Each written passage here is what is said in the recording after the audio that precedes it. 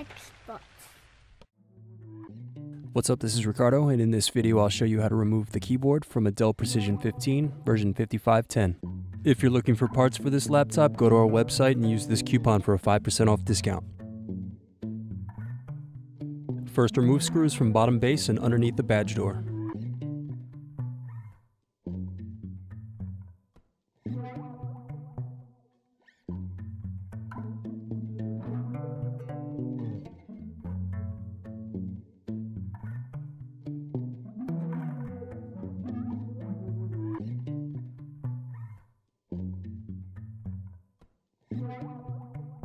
Then remove bottom base. Next, unplug battery cable. Then unscrew and remove battery.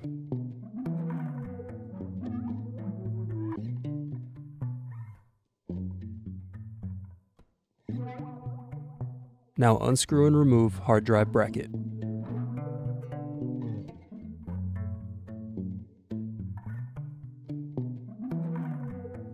Then unplug and remove the hard drive. Next, unscrew and remove wireless bracket. Then unplug antenna cables and remove wireless card. Now unscrew and remove solid state drive. Now unscrew right cooling fan. Then unplug and remove right cooling fan. Then unscrew and remove bracket.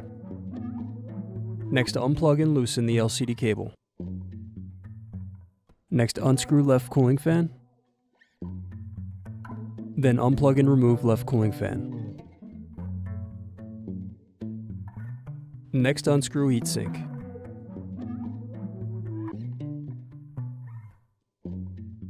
Then remove and clean the heatsink. Unplug DC jack. Now unplug speakers.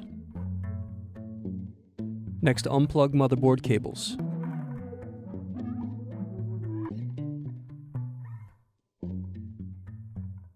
Then unscrew and remove the motherboard.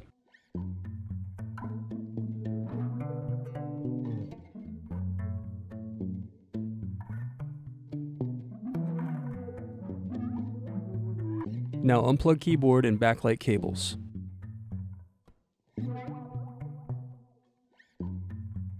Next, peel off keyboard cover to access keyboard screws.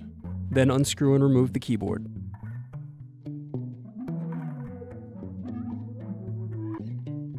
Need more? Check out these other tutorials. For batteries, click here. For hard drives, click here. For wireless cards, click here. Thanks for watching. If you enjoyed this tutorial, give this video a like and subscribe to our YouTube channel.